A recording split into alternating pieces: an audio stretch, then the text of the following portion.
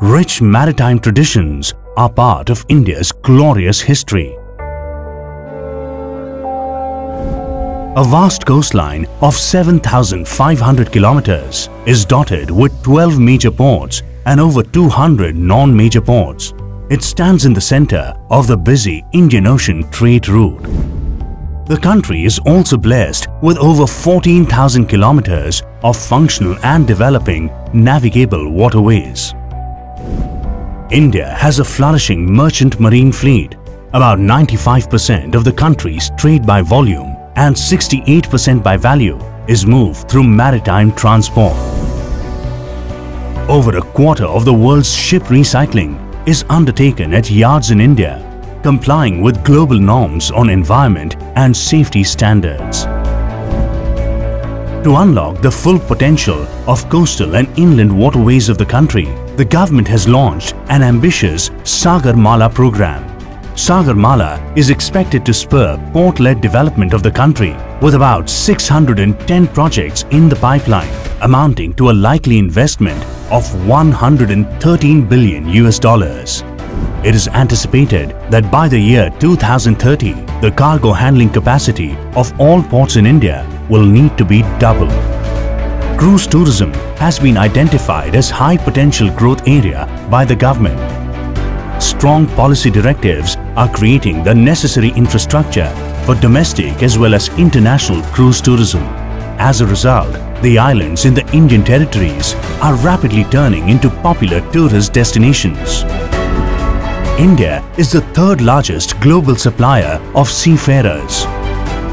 The high training standards and effective maritime administration make the Indian seafarers amongst the most sought after and the best in the world.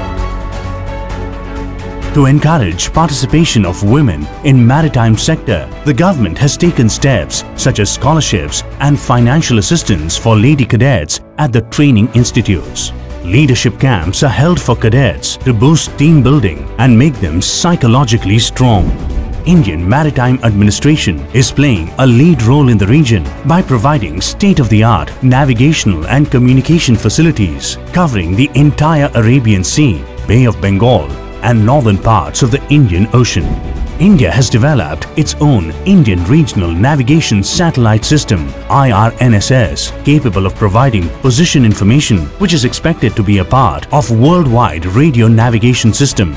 A 24 by 7 Long Range Identification and Tracking System LRIT National Data Center at Mumbai offers services to Indian merchant fleet as well as other member states desiring services of LRIT.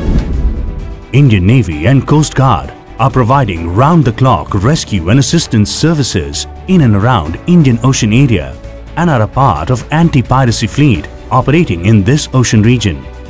In accordance with IMO guidelines, the Government of India is promoting some ambitious environmental projects such as beach cleaning, green ports, prevention of single-use plastic, shore-based power supply, etc.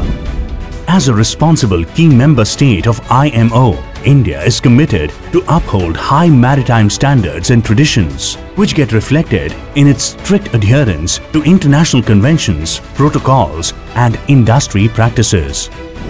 With a robust infrastructure and firm government support, India is on a safer, cleaner and richer maritime voyage.